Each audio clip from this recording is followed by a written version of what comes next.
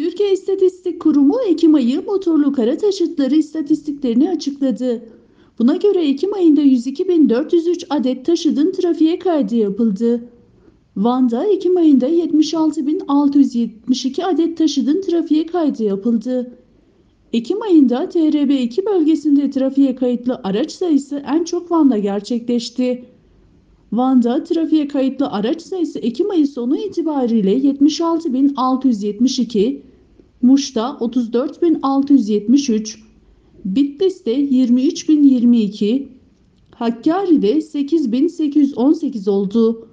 Bölge illeri arasında en az araç kaydı yapılan il Hakkari oldu.